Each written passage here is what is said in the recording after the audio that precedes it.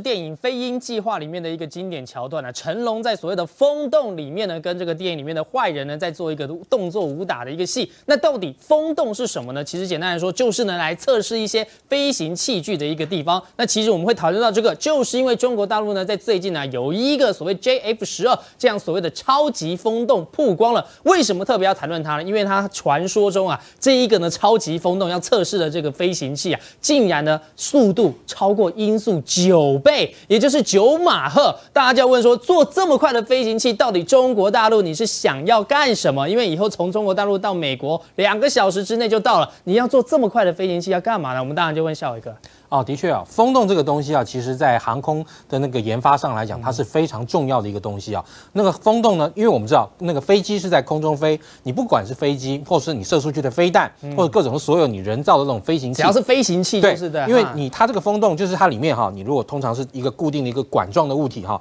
然后呢，它会产生一个呃空气的流场。那像一般而言，那个风洞会分那种所谓的次音速风洞。超音速风洞，还有现在这种最流行的超高音速风洞，超高音速越来越快就对。对，那次音速风洞通常就是在那个二战以前就已经有啦，因为你要试验各种飞机起降状况，或甚至于哦你在做模拟的时候啊，像比如说飞机要投弹。嗯，对不对？你这个飞机投弹的时候，你要做个模型，然后让它那个飞弹呢这样掉下去，然后看看掉下去的过程会不会打到飞机自己，等等之类的。所以这些都要在风洞里都要做测试才行。对，那但是后来等到进入超音速时代以后，你就发现飞机飞得很快。那超音速里面的那个呃飞机的状况跟次音速是有没有什么不一样？因为我们知道，在飞机在超音速飞行的时候，它基本上第一个你在穿过音速的时候会产生音爆嘛，音爆是它那个飞机哦那个前面产生的不同的震波，在通过音速那一点的时候，通通集合在一起，那个时候会产生。那个水汽啊凝结，然后而且产生一个很大的一个呃冲击波之后，好就好了。然后现在这种高超那个超高音速是怎样？因为我们知道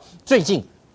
美国它发射了一个东西叫做 X 三七，后来又发射了一个东西叫 X 三七 B，哦那。那个那个这个飞机的速度，它基本上来讲就是一种太空飞机，或大陆称为空天飞机。这种飞机啊，它的速度因为很高嘛，就像刚刚那个熊威讲的，超音速九倍，从纽约到北京到东京，可能才几个小时，两个小时就到了。原本你过去那个坐那个大气层内的飞机，啊飞飞飞飞，可能要飞十几个小时。十几个小时。对，太空飞机，因为它的概念就是当你这个飞机要发射上去以后，对不对？它要进入那种所谓的就是空气非常稀薄的那个大气层边缘，或甚至比大气层边边缘更高的，像电离层啊那种，呃，然后它再飞过去，因为那个地方空气才够稀薄，然后让对它飞机本身不会产生那么大的阻力，这样能够达到快速的这个移动。嗯哼，但是。在那种情况下，我们通常称为那个叫静态空，或是那个那个静那个那个那个空间的那个飞行哦之中啊，它有很多的这个特性，是我们在地面上来讲必须要去了解跟知道跟模拟的。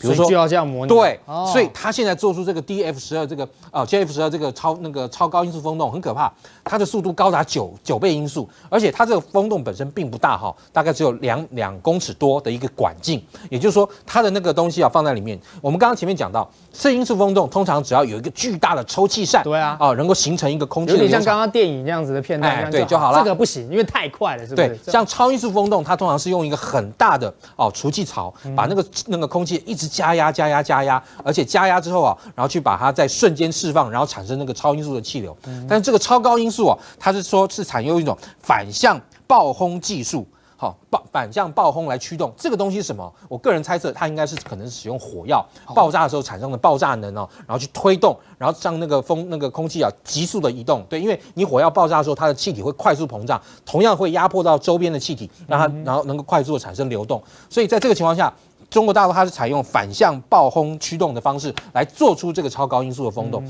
它为什么？就是要研究这个飞机。